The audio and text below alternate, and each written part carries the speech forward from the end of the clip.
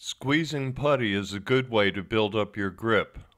I had several occupational therapists tell me that once my grip was good, to only work on extension and stop squeezing putty.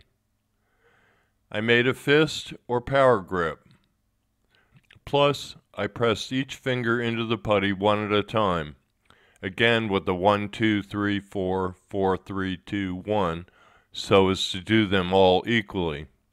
Here is a graphic that shows some other things you can do with putty. There are also a number of videos on YouTube.